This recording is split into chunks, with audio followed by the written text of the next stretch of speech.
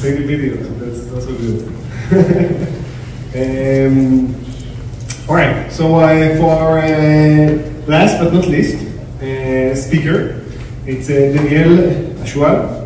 Uh, she's a product manager at Microsoft Defender for IoT, and uh, you know one of the biggest, I don't know the biggest, but one of the problems we have, we have many problems in robotics. One of the problems we have also is cyber, and how to work with it, and how to actually enter it in our uh, um, products, especially before it becomes a real problem, real problem, uh, when we cannot deploy our robots anymore. And this is something we should think about quite ahead of the development. And so, Daniel, thank you.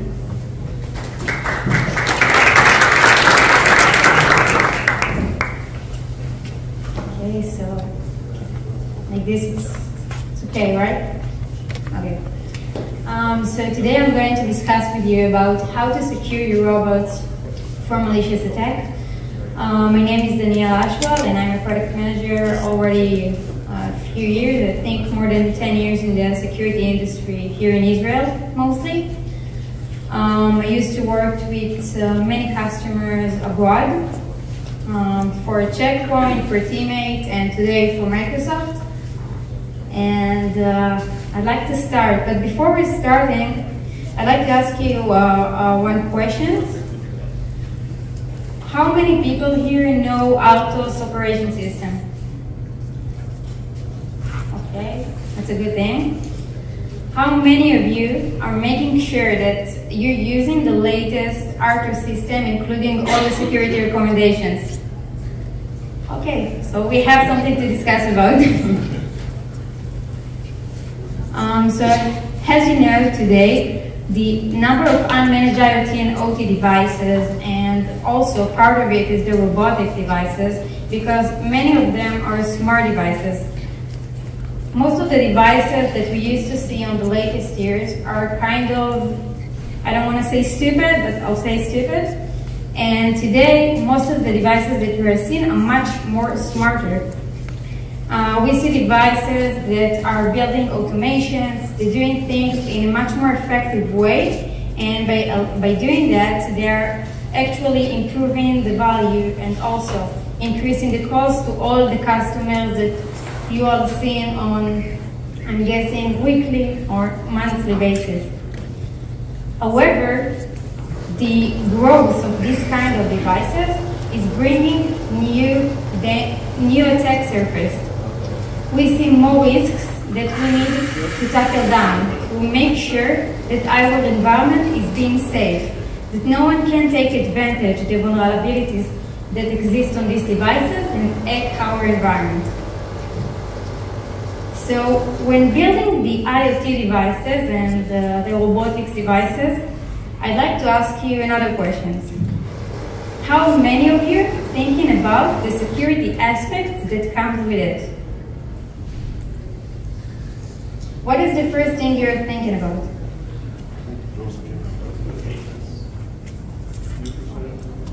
So today, from the environment and the customers that we're seeing, and mostly also, uh, of course, in Microsoft, we see uh, that there are actually velocity of uh, IoT devices, robotic devices. We can see them on industrial systems. We see them on IT environments, on uh, dedicated IoT devices. Uh, we see the agriculture devices, and much more than that. But what we don't see usually is this. I'm sorry, I think it's a different version. okay. Okay, so what we don't see usually is uh, the security mindset that comes with it. Many of these devices are, uh, built with a security boot, which is not really secure. And they're not really making sure that the operation system will be up to date and are not having any vulnerabilities or can be breached. The second thing is that the vendor rarely provide automated means to patch this kind of devices. So let's say you have a customer and he has a production cell. In the production cell, there are a few RTUs, PLCs, and much more devices. However, Siemens, Schneider, or any other vendor that is pretty known in industrial environment, uh, is publishing a new vulnerabilities that are actually exist on these kind of devices. But your customer saying, if I'm going to change one of these devices, it's going to cost me a lot of money because these devices need to function. So we can't really patch them, but what we can do, what we can do is to monitor these devices and to make sure there's no internet connectivity to it, to make sure that there's no remote access that someone from outside can exploit and enter to this device. Okay.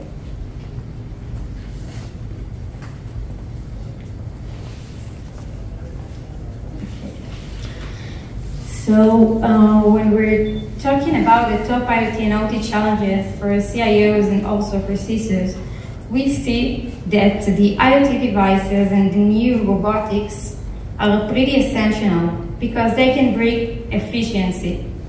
However, these security devices are the, mo the, less, the most less secure compared to all the other devices. And the reason for it, they are not agent-based. It's very, very rare to see IoT devices that have agents that can be run upon them and to make sure that they are secure. So this is why they are not really managed. And the 31% of the organization uh, uh, would like to stop the adoption of the IoT projects due to security concerns because they thinking that adopting this kind of solution can bring new attack surface. And this is why they less supporting in this kind of uh, ideas we see that there are three main actually uh, technology gaps. The first one is that it's very hard to have a full inventory with all the IoT robotic devices. And the reason for it is that they are not managed. In order to get this kind of devices, we will need to uh, monitor them and also to support on industrial protocols, on unrare protocols, and sometimes it's very hard to get to the location of this type of devices, like the PLCs and RTUs. The second thing is that this, the IoT devices are not really that secure, and this is why they feel less confident with adopting them. And 61% um, thinking that to identify if IoT devices are compromised will be pretty hard. So that, what does it mean uh, to have a risk on the environment? It can affect the business in three main ways. The first one is the financial part. And in case we'll have uh, malware in our environment, it can shut down factories and in case it will shut down these factories, like uh, the last uh, ransomware, WannaCry, NotPetya, LocalData, and much more, um, the business can lose money. And eventually, everything comes to cost. The second thing is the IP theft. And this one is more common on manufacturing. In case someone will have uh, accessibility to our environment, it will be able to get the information and even sensitive uh, formulas or any other ideas and to use it for his own profit. And the third thing is safety. Uh, probably um, who here in the audience have heard about Triton attack? So I not all of you. So actually Triton attack uh, have, it actually happened on petrochemical plant on Saudi Arabia and uh, someone get access between IT device to OT device, which was HMI machine which Schneider Electric uh, products. And then he succeeded to enter to PLC of, of Schneider and to download configuration file and just exploit this kind, I mean, to shut down this kind of PLC. And of course that he damaged and made also financial loss to this plant.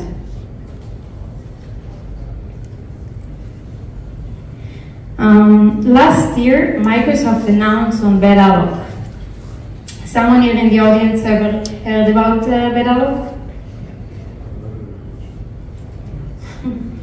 okay. Um, so BadAlloc allows to attackers to run a malicious code through vulnerable memory function. Microsoft research team has succeeded to uncover a series of critical memory allocation vulnerabilities in IoT devices. Um, these vulnerabilities were pretty severe and they were involved also with a real-time operation system, uh, RTOS embedded software, SDKs, and standard libraries. But the important thing about it is that RTOS actually affects on multiple devices, on multiple vendor, on multiple equipment. So someone that taking advantage this kind of, vulner of uh, vulnerable device can connect to it and also to configure code which shouldn't function. So the next question probably will be, so now that we know we have BadAlloc and we know all the RTOS systems that are out there, what can we do in order to mitigate this kind of, uh, of devices? So the first thing will be to patch. Patch them. Have the latest software uh, to update the version that they are, they are uh, including and to make sure that they are functioning.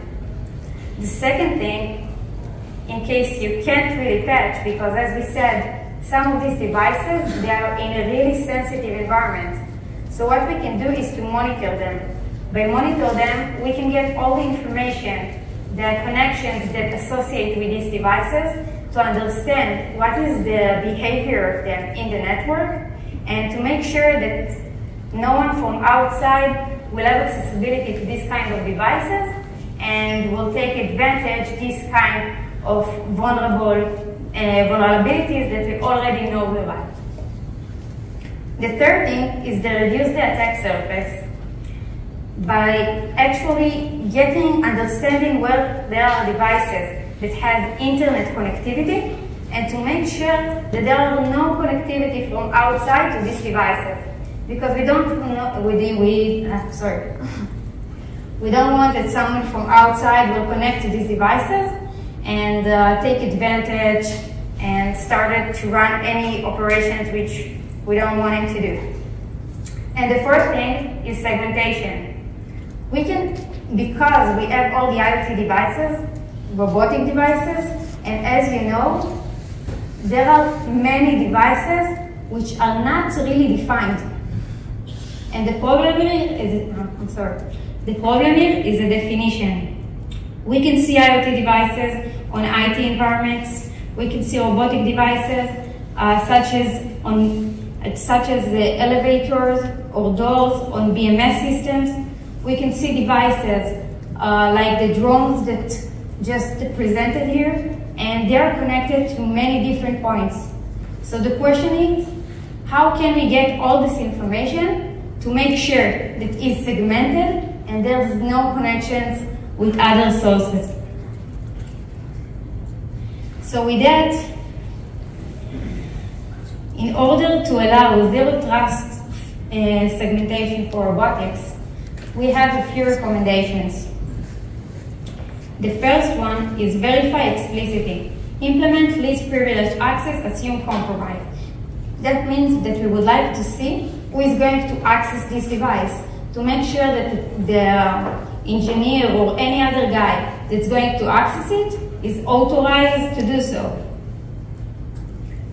The second thing is to apply a basic hygiene, patch where possible. If there's a possibility to patch, patch them. Make sure that they are updated with the latest um, software. And of course, even more than that, to implement multi-factor authentication. Make sure that your employees are trained and knows how to react and to make sure that there's no breach in the security to these devices. The third thing is to implement continuous monitoring solution, NDR solution.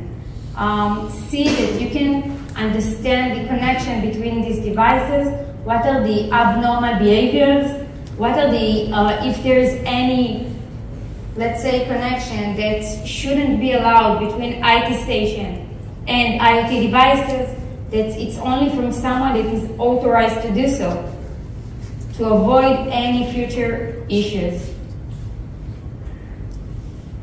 And the fourth thing, when having incident on IoT devices, send all of them to a security monitoring system to make sure that there's someone in the SOC station that investigated, understand what is the security risk that's come with it, and knows how to react, how to proactively understand. Think, think about that when having these devices on sensitive environments, if someone will enter to one of the devices that uh, you'll sell to, to your customers and just use it in order to hack and to spread any ransomware to other devices, these devices, this environment won't function anymore. And if that cause, it can bring to a really large financial cost, which we prefer not to, to have. So I think I have some more time.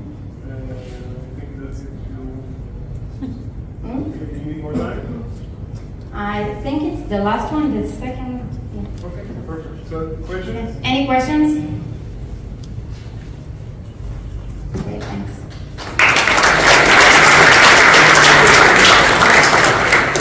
All the IoT and OT incidents is part of Sentinel.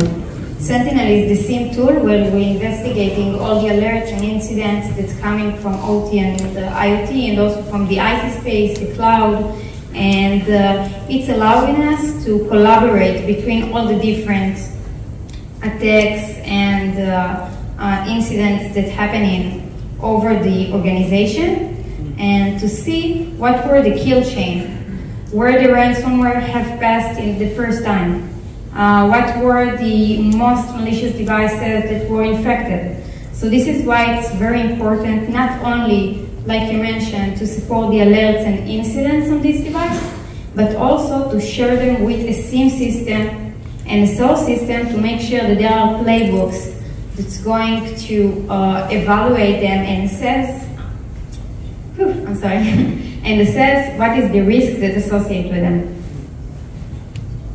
Thank you very much. Thank you.